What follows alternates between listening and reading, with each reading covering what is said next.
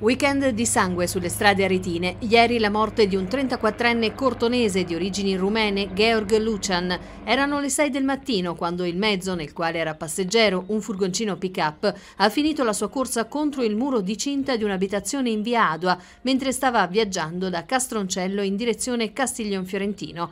Per Georg non c'è stato nulla da fare ed è morto sul colpo.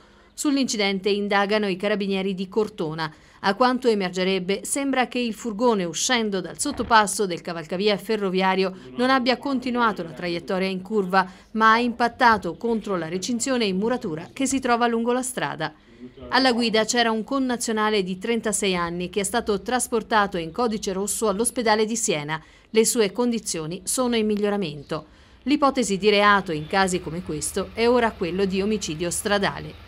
Sempre domenica sera e ancora a Castiglion Fiorentino un altro incidente con un'auto che si è scontrata con una moto lungo la SR71 intorno alle 23.30.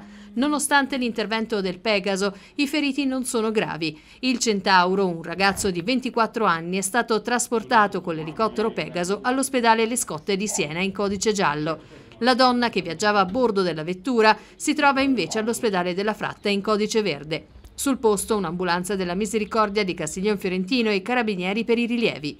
Il terzo incidente domenicale si è verificato in serata in località Chiassa Vico dopo un impatto frontale fra due auto. Due feriti, uno dei quali, un uomo di 44 anni, è stato ricoverato in codice rosso all'ospedale fiorentino di Careggi.